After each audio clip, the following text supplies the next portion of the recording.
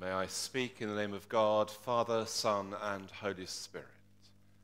Amen. God's saints are those who live upside down. Get that out of the way. God's saints are those who live upside down. Taffy had read the Bible upside down. I know that because he told me that. As a university student, um, we went on ecumenical missions. And as part of those, now out of favour, we knocked on doors and spoke to those behind the door. So I knocked on doors in Warrington and in Archway um, and in Whitstable, but also knocked on doors in Theydon Bois in Essex, which is where I met Taffy. Knocked on Taffy's door. I remember him still opening the door and him saying, It's no good. I've read the Bible upside down and it still makes no sense to me. And I do remember 35 years on resisting the temptation to say, Well, if only you stood the right way up, it might make more sense to you. But I knew what he meant. He'd read it for, he meant to say from end to end. And we then had a long conversation, although I'm not sure that I convinced him. But I remember Taffy because, in some ways, many ways, Taffy was closer to the truth than he realized. God's saints are those who live upside down. The Feast of All Saints, um, November the 1st, yesterday, is very special to me, partly because I grew up in a church that was All Saints, All Saints Ealing, Ealing Common. Um, most remarkable about which was the fact it's the only church in this country built as a memorial to an assassinated prime minister. 1812, Spencer Perceval. And even more alarming, and in those days I was a server, as we got robed in the corner of the vestry was a glass case with Spencer Perceval's death mask in it. and I remember that being a slightly strange way to prepare for worship. But I was also, for six years, Vicar of All Saints Rotherham, sadly, a church now at the heart of the agony of that town with all the abuse that's happened there and been disclosed. But in the end, All Saints is not just special because I worshipped as a child in a church called All Saints or because I was a vicar of a church called All Saints, but because the Feast of All Saints points us to that witness of Christian men and women down the ages who, in the power of the gospel, have lived their lives for Christ in ways that inspire. And why do they inspire? Because it's not because they follow the ways and the mores of the world, but because they've lived that upside down, topsy turvy culture that is the gospel of Jesus Christ that is to be lived out in Christian discipleship. God's saints are those who live upside down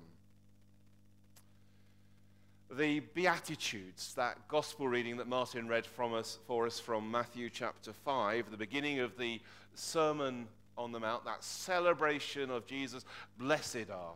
Some modern translations not so good. Happy are they. It doesn't have the depth.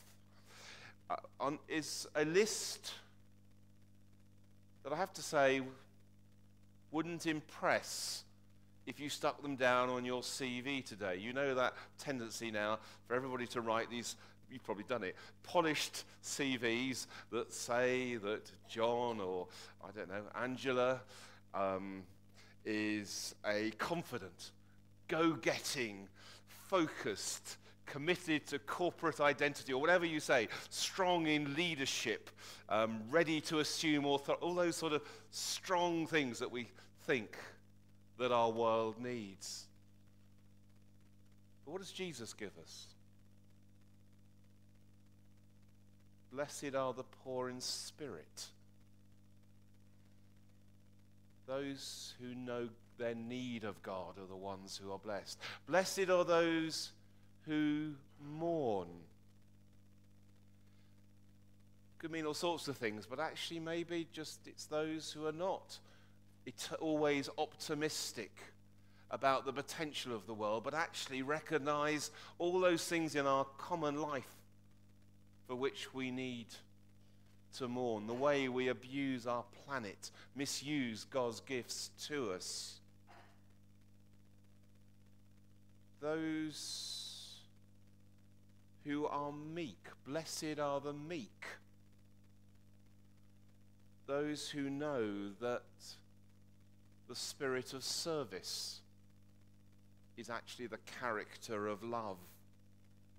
Blessed are those who hunger and thirst for righteousness, those who seek the needs of their neighbor first and not of themselves. Wouldn't it be good? You know, John Jane is a meek, mournful seeker for justice and righteousness, um, committed to mercy, a different sort of CV. Or if we go to our second reading from the first letter of John, we're called to be the children of God. And the writer says we're not un- who will not be understood by the world because why? Because the character we are to have in Jesus Christ is that of love. Or that love which is seen in Christ, that love that gives all that it is, even to death, the death a, of our Lord on a cross. Or in our first reading from Revelation, that focus there on those, uh, and Revelation, of course, written to a persecuted church, but celebrating the lives of those who, in their commitment to Christ, have died for their faith, the martyrs worshipping around the eternal throne of heaven. God's saints are those who live upside down. And as we rejoice, that's the witness of the church down the ages. But a witness, I suggest to you this morning, is often more radical, more life changing than we sometimes remember. One of the challenges from the so called new atheists the Richard Dawkinses of this world, or the late Christopher Hitchens, and all the others in that school, is that actually Christianity really makes no difference. In fact, the, the allegation is it makes life worse. Well, I was struck some time ago when I read a book by someone called David Bentley Hart. It's a book called Atheist Delusions. It's not an easy read. But what struck me about the book is but he said he was writing because he wanted to show how radical, how remarkable the impact of Christianity was within what was pagan Roman culture. In the introduction to his book, he says, My chief ambition is to call attention to the peculiar and radical nature of the new faith in that setting, how enormous a transformation of thought, sensibility, culture, morality, and spiritual imagination Christianity constituted in the age of pagan Rome. In other words, he says, actually, we have to remember, we have to touch base again with the fact that Christianity, the Christians who lived out what they had witnessed in Christ was a remarkable witness, radically different to what was there in Roman society. What did it offer in that age of fatalism and occultism and temple worship? Well, first of all, among the things he lists is he says that Christianity conferred a new dignity on human beings. That vision, that universal vision of Christ in Christ there is neither Jew nor Greek, male nor female, slave nor free. He says that Christianity created a new sense of moral community. The Christian image of the body not as a, a, a, a set of, of, individuals competing with one another, but the the body that is Christ, in which each has their part and each makes their valued contribution. He said, in particular, Christianity raised charity, raised love above all other virtues. The virtues of the age, of power and victory and duty. The greatest of these is love. In other words, he says Christianity actually turned the world upside down. It was not a new fad, not just a new style, a new trend. It was a radical new way of living, and that we have to catch hold of and hold on to an upside down way of living. God's saints are those who live upside down. And as I, as I think we know, in that there is power. Why is Pope Francis catching the attention of so many? Well, it's not that he lives in the Vatican, or technically he's a head of state, or indeed even that he's the leader of 1.2 billion Roman Catholics across the world. Quite a club, quite a group, really, in our world to today. No, it's because he does things, isn't it, like washes the feet of the outcasts and marginalized, because he embraces those who are disfigured and whom others ignore. Because, okay, yes, realistically, within where his church is at the moment, he explores what it means to live a life of love for those whose lives are damaged and broken. That's why he inspires. Or what about Dr. Sarah Ahmed? who you might be saying. If I said Canon Andrew White, most of you would go, ah, yes, Vicar of Baghdad. Well, if you read Andrew's blog, Dr. Sarah Ahmed is, is described as his PA, projects officer, and also a dentist. and at the moment, she's in Kurdistan. What's she doing? Living out those beatitude values of mercy, of righteousness, of love and service of peacemaking in all the horrors of Iraq and Syria, in that land now, where we know that experience of blessed are those who are persecuted, the experience of fellow Christians who are being either forcibly converted or displaced or murdered. Lives that inspire God's saints are those who live upside down. So, what's God saying to you and me this morning? What's God saying to us? Well, I think, first of all, as always, the gospel calls us to hear afresh Christ's call to us today, particularly to live, to live out his values in our lives and in the world. Maybe today, particularly, also just hear afresh the testimony of the early church and that remarkable new way that burst in our, our world in Jesus Christ and those early disciples.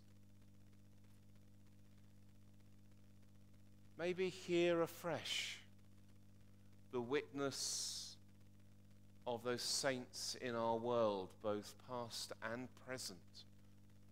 I don't know about you, but I know that I'm one of those people. I'm inspired by what others do. There's a whole list of people who, by seeing the way they live for Christ, have inspired me. Some people need books. Some people need silence and prayer. Some people just need other examples of others, and I'm one of those. Or is it and these aren't mutually exclusive, you can do all of them. Is it just hear afresh the call of Christ to you that, to live as a saint? And how might we do that? Well, I suggest you nothing else. Why don't we just take Matthew 5, those opening verses, those Beatitudes? Maybe just to go home and read it again and hear what God is saying to each one of us. There are, uh, there are eight Beatitudes in particular. Where are we? The poor in spirit, those who mourn, the meek, those who hunger for thirst and thirst for righteousness, the merciful, the pure in heart, the peacemakers, those who are persecuted. Take one a day starting today up until next Sunday. And just say, just carry that with you through the day and ask, what does that mean? What's Christ saying to me as I live for him?